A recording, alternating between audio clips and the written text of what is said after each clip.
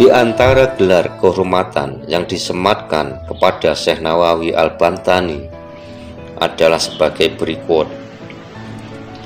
Beliau menyandang banyak gelar, di antaranya Al-Sayyid Al-Ulama Al-Hijaz, tokoh ulama Hijaz atau Sayyidul Hijaz Nawawi Al-Sani, Nawawi kedua, orang pertama yang memberi gelar ini pada Syekh Nawawi adalah Wan Ahmad bin Muhammad Zain Al-Fatoni. Al-Imam wa Al-Fam Al-Mudakik, tokoh dan pakar dengan pemahaman yang sangat mendalam. A'yan, ulama Al-Qom, Ar-Rum, Asar, Li Al-Hijrah, tokoh ulama abad 14 Hijriah Imam ulama Al-Haramain Imam ulama dua kota suci Dokter ketuhanan Orang pertama yang memberikan gelar ini pada Syekh Nawawi adalah Christian Senop Hurgronji dari Belanda Bahkan orang Kristen, tokoh Islam sendiri mengakui Imam Nawawi Al-Bantani adalah orang yang sangat luar biasa. Asyh Al-Faqih disematkan oleh kalangan pesantren Bapak Kitab Kuning Indonesia disematkan oleh para ulama Indonesia. Asal ulama ulama asal Mesir, Syekh Umar Abdul Jabbar dalam kitabnya Al-Turus Mimadi Al-Ta'lim Wadiri bin Al-Masjidil Haram beberapa, beberapa kajian masa lalu dan masa kini tentang pendidikan masa kini di Masjidil Haram menuliskan bahwa Syekh Nawawi sangat produktif menulis hingga karyanya mencapai 100 judul lebih yang meliputi berbagai disiplin ilmu. Banyak pula karyanya, karyanya yang berupa sarah, atau komentar terhadap kitab-kitab klasik. Sebagian dari karya-karya Syekh Nawawi di antaranya adalah sebagai berikut. As-Samar al-Yani'ah, Sarah al-Riyad al-Badi'ah, Al-Ad al-Samim, Sarah al-Fat al-Mubin, Sulam al-Munajah, Sarah Safinah as-Sa'lah, Bahjan al-Wasail Sarah al-Risalah Al-Jamiyah Bayin Al-Usul wal Al-Fiqh wa Al-Tasawuf. Al-Tausahud Al-Habib Al-Qorib Sarah Fat Al-Qorib Al-Mujib. Nihayah Al-Sayyin Sarah Kumah Al-Ain bin Muhimmah Al-Din Maroki al-Ubudiyah Sarah Matan Bidayah al-Hidayah. Nasiyai al-Ibad Sarah al-Mambahatu ala al-Istidat li Yaum al-Mi'at Salalim al-Fadis Sarah Mamdumah Hidayah. Askli Komi'u Al-Tukian Sarah Matumah Sabu Al-Iman. Al-Tafsir Al-Munir. Al-Mu'alim Al-Tanshin Al-Mupasir Al-Wujuh. Mahasin Al-Ta'wil Musamma Murain Labid Kasobi Makna Quran Majid. Kasib Al-Marutiyah Sarak Matan Al-Jurumiyah Fat al-Khafir al-Khotiyah Sarak Natan al-Jurumiyah Musamma al-Kawakib al-Jariyah. Nur al-Dalam ala Mandumah al-Musammah bil Akidah al-Awam Tangih al-Qaul al-Hadsis Sarak Lubab al-Hadis. Madarit as-Su'ud Sarah Maulid Al-Barjanji. Targib Al-Mustaqin Sarah. Mahdumah Maulid Al-Barjanji. Fatah Al-Samad Al-A'lam Sarah. Maulid Syariat Al-Anam. Fal Al-Majid Sarah. Al-Tur Al-Farid. Tijan Al-Darori. Sarah Matan Al-Baijuri. Fat Al-Mujib Sarah Mutasar Al-Katib Murokoh Su'ud As-Sadid Sarah Sulam Al-Taufik Kasifah Al-Saja Sarah Sapinah An-Najah. Al-Futuhah Al-Madaniyah Sarah As-Su'ub Al-Imaniyah. Hukub Al-Lujanin. Hukub Al-Lujain Fi Bayan Hukub Al-Zaujain Qadra Al-Qaid Sarah Masali Abi Al-Laith Nakowiyah Al-Aqidah Mamdumah fi Tauhid Al-Najah Al-Jayyidah Sarah Naqawah Al-Aqidah Sulu Al-Jadah Sarah Lam'ah Al-Maf'adah Fi Bayan Al-Jumu'ah Wal Al-Mul'adah Yan Al-Sibian Sarah Al-Fat Al-Rahman. Al-Busus. Al-Yakutiyah ala Ar-Raudah Al-Bayyinah Awab Al-Tasarofiyah Ariyat Al-Fauliyah. Misbah Al-Dalam ala Mirhat Al-Atamma Fitawab Al-Hukum Dariyah Al-Yakin ala Um ala Barin fi, il, fi Al-Tauhid. Al-Ibris Al-Dani Al-Maulid Sayyidina Muhammad As-Sayyid Al-Adnani. Bagiyah Al-Awam Pisarah Al-Maulid Sayyid Al-Anam. Ad-Durur Al-Bagiyah Ifsarat Al-Kasrotiyah Al-Nabawiyah Lubab Al-Bayan Fi Ilmi Bayan dan karya tafsirnya Al-Munir sangat monumental, bahkan ada mengatakan lebih baik dari tafsir Al-Jalalain karya Imam Jalaluddin Asyuti dan Imam Jalaluddin Al-Mahal yang sangat terkenal itu. Sementara Kasfiyah Al-Saja merupakan syarah atau komentar terhadap kitab fikih Safinatun Najah karya Syekh Salim bil Sumair Al-Hadrami. Karya-karya dia, karya-karya beliau di bidang ilmu akidah misalnya adalah Tijan Al-Darori, Nur Al-Dalam, Fat Al-Majid, sementara dalam bidang ilmu hadis misalnya Tankih Al-Qaul, karya-karya beliau di bidang ilmu fikih yakni Sultan Al-Munajjah, Nijayah Al-Zain, Kasifah Al-Sajah, dan yang sangat terkenal di kalangan para santri pesantren di Jawa yaitu Sarah Ukub Al-Lujain fi Bayan Hukut Al-Zaujain.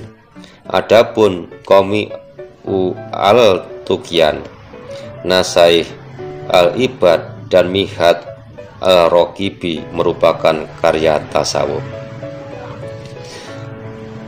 Karena beliau seorang yang sangat istimewa oleh Allah dihidayai dihadiahi banyak karomah. Di antaranya ialah ketika telunjuk telunjuk tangannya itu bisa bersinar menjadi lampu penerang. Pada suatu waktu di sebuah perjalanan dalam sakdut rumah-rumahan di panggung di punggung unta Syekh Nawawi pernah mengarang kitab dengan menggunakan telunjuknya sebagai lampu. Hal tersebut terjadi karena tidak ada cahaya dalam sudut yang ia tumpangi. Sementara aspirasi untuk menulis kitab tengah kencang mengisi kepalanya. Syekh Nawawi kemudian berdoa kepada Allah agar telunjuk kirinya dapat menjadi lampu menerangi jari kanan yang akan digunakan untuk menulis. Untuk menulis kitab yang kemudian lahir dengan nama Maroki al-Ubudiyah, Sarah Matan Bidayah Al-Hidayah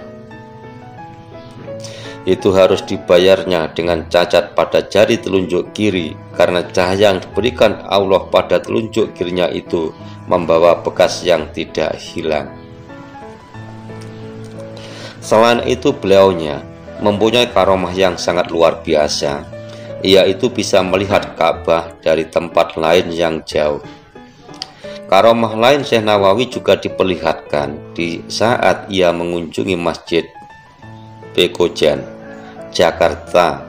Masjid yang dibangun oleh Sayyid Usman bin Askil bin Yahya Al-Alawi, Mufti Betawi keturunan Rasulullah itu ternyata memiliki kiblat yang salah.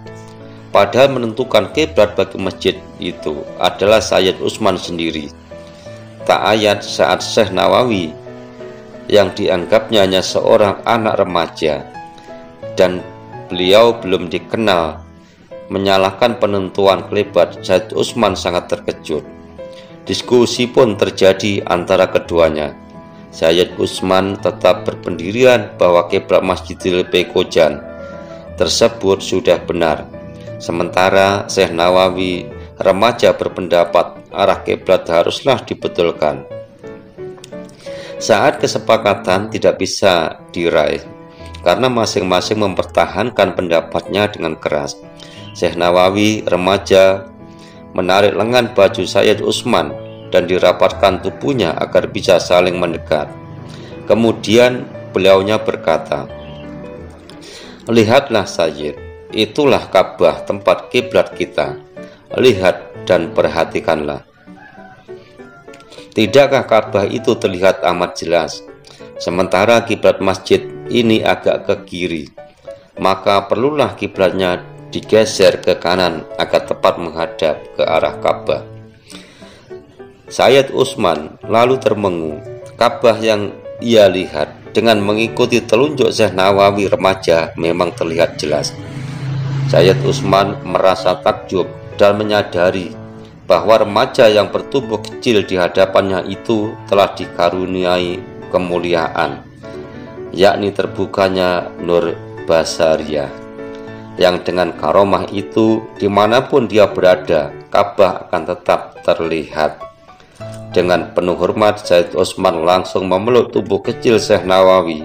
Sampai saat ini, di Masjid Bekojan akan terlihat kiblat digeser dan tidak sesuai aslinya. Selain itu, Syekh Nawawi Al-Bantani ini juga mempunyai karomah yang luar biasa. Walaupun dia telah meninggal dunia, ini jasadnya tetap utuh telah menjadi ke kebijakan pemerintah Arab Saudi bahwa orang yang telah dikubur selama setahun kuburannya harus diganti. Tulang belulangnya si mayat kemudian diambil dan disatukan dengan tulang belulang mayat lainnya. Selanjutnya semua tulang itu dikuburkan di tempat lain di luar kota. Di lubang kubur yang dibongkar dibiarkan tetap terbuka hingga datang jenazah berikutnya terus silih berganti. Kebijakan tersebut dijalankan tanpa pandang bulu hingga menimpa pula pada makam Syekh Nawawi. Setelah kuburannya genap berusia satu tahun, datanglah petugas dari pemerintah kota untuk menggali kuburnya. Tetapi yang terjadi adalah hal yang tidak lazim. Petugas kuburan itu tak menemukan tulang belulang seperti biasanya. Yang mereka temukan adalah satu jasad yang masih utuh, tidak kurang satu pun, tidak lecet, tidak ada tanda-tanda pembusukan seperti lazimnya jenazah yang telah lama dikubur. Bahkan kain kafan penutup jasad Syekh Nawawi tidak sobek dan tidak labuk sedikit pun. Terang saja kejadian tersebut mengejutkan para petugas mereka lari berhamburan mendatangi atasannya dan menceritakan apa yang telah terjadi setelah di Nah, setelah diteliti, sang atasan kemudian menyadari bahwa makom yang digali itu bukan makom orang sembarangan. Langkah strategis lalu diambil, yaitu larangan dari pemerintah untuk membongkar makam Syekh Nawawi. Jasadnya lalu dikuburkan kembali seperti sedia kala dan hingga sekarang makam Syekh Nawawi tetap berada di Ma'iyah Mekah. Adapun kejadian-kejadian yang sangat aneh ini sangat luar biasa dari Syekh Nawawi. Ceritanya begini, suatu hari ketika dalam perjalanan, Syekh Nawawi istirahat di sebuah tempat untuk asyan, kemudian sholat. Setelah ia asyan, ternyata tidak ada orang yang datang. Akhirnya ia komat, lalu sholat sendirian. Usai sholat, Syekh Nawawi kembali melanjutkan perjalanan. Tapi ketika menengok ke belakang, ternyata ada seekor ular raksasa dan mulutnya sedang menganga. Akhirnya ia tersadar bahwa ternyata ia sholat di dalam mulut ular yang sangat besar. Syekh Nawawi wafat di Mekah pada tahun pada tanggal 25 Syawal 1314 Hijriah atau 1897 Masehi. Makamnya terletak di Jannatul Mu'ala, Mekah. Makam dia bersebelahan dengan makam anak perempuan dari Sayyidina Abu Bakar As-Siddiq, Asma binti Abu Bakar As-Siddiq. Meski wafat di Jazirah Arab, namun hingga kini setiap tahunnya selalu diadakan haul atau peringatan wafatnya Syekh Nawawi Al-Bantani di tanah air tepatnya di Pondok Pesantren Al-Nawawi, Tanara, di Kecamatan Tanara, Serang. Asuhan Kiai Haji Ma'ruf Amin. Haul Syekh Nawawi selalu ramai dihadiri para santri Nusantara, bahkan manca negara. Nah begitulah riwayat dari Syekh Nawawi yang telah melahirkan banyak ulama besar di Indonesia Suatu contoh ada Hasim Kiai Hasim As'ari, ada Syekh Kolil Bakalan, ada Kiai Ahmad Dahlan, sang pejuang RI juga.